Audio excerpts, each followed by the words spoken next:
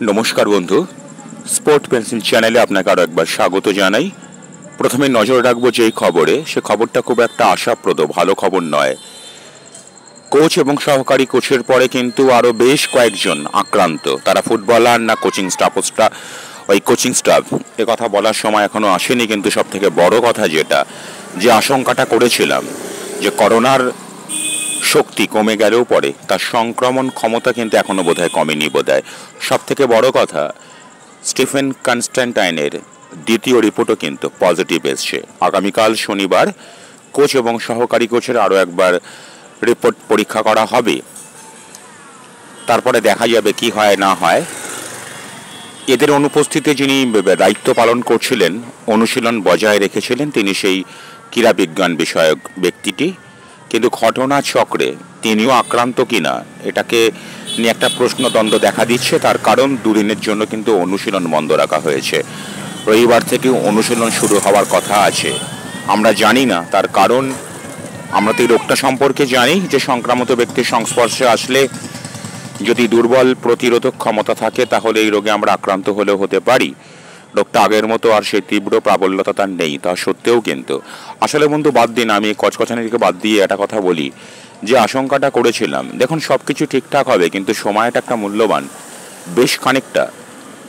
সময় কিন্তু এভাবে চুরি হয়ে গেল, কারণ সিএফএল আসন্ন।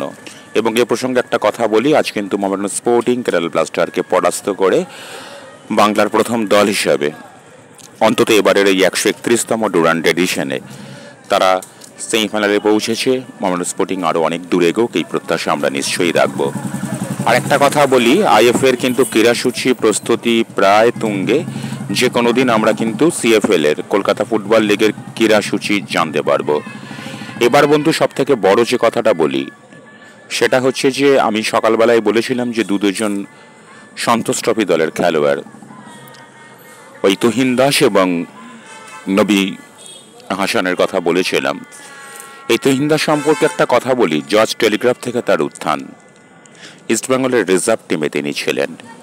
আমরা কিন্তু তাকে ডুডান্ডের বেশ কয়েকটা ম্যাচে প্রথম একাদশ বা পরবর্তী সময়ে মাঠে নামতে দেখেছিলাম এবং তিনি দুর্দান্ত একটা পারফরমেন্স করেছিলেন তার মানের নিরিখে। এবং তারই বোধহয় তিনি পুরস্কার পেলেন। সকালে যে কথা বলেছি, তারই পুনরাবৃত্তি করেছি আইএসএলের দলে। তাকে আমরা অতি অবশ্যই দেখতে পারব। আইএসএল এর মঞ্চেও তাকে দেখতে পারব। বাংলা ফুটবলের পক্ষে কিন্তু একটা বিরাট বড় খবর। খেয়াল করে দেখবেন ইস্টবেঙ্গল ক্লাবে কিন্তু খুব বেশি বঙ্গ সন্তান নেই, হাতে গোনা বঙ্গ সন্তান। তাদের মধ্যে যদি এই তুহিন দাস যদি উজ্জ্বলে উঠতে পারেন, সেটা আমাদের কাছে অত্যন্ত আশার কথা। এবার বন্ধু চলে আসি, যে বোর্ড মিটিংয়ে যে সিদ্ধান্ত নেওয়া হয়েছিল একটা মহিলা ফুটবল দল গঠনের, আমার মনে হয় যেটুকু জানি যে বাংলার প্রথম কোনো ফুটবল দল হিসাবে ইস্টবেঙ্গলি মহিলা ফুটবল দল গঠন করতে চলেছে।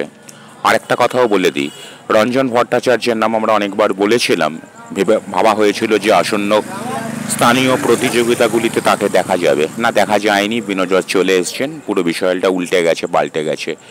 কিন্তু ইস্টবেঙ্গল খুব তাড়াতাড়ি তাদের অনূর্ধ্ব আবার সেই পুরনো প্রথায় ফিরে আসছে। দারুণ দারুণ ব্যাপার। হকি দল নিয়ে অনেকগুলো কথা আছে, সেটা পরে বলব অন্য কোনো প্রসঙ্গে। যে ইস্টবেঙ্গল যে অনূর্ধ্ব বিভিন্ন, সে দশ বছর থেকে শুরু করে প্রায় সতেরো বছর অবধি। সেই দলের কিন্তু দায়িত্ব পেতে চলেছেন। খুব সম্ভবত যদি ভুল না করি, তাহলে রঞ্জন ভট্টাচার্য। দুর্দান্ত।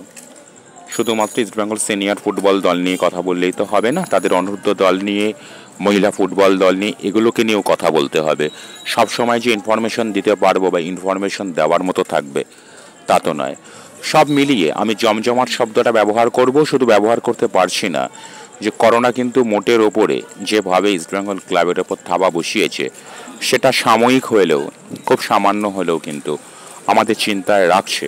আমরা চাইব খুব দ্রুত সুস্থ হয়ে সকলেই আসুক, কিন্তু আমাদের চাইবার সাথে বাস্তবের কতটা কি মিল হবে, না হবে, অনেকগুলো জট পেকে যাচ্ছে। কারণ সিএফএল এর ক্রীড়াসূচি আমার মনে হয় যে কোনো দিন, যে কোনো দিন। আগামী সপ্তাহের শেষ দিকে হয়তো আইএফএ প্রকাশ করে ফেলবে।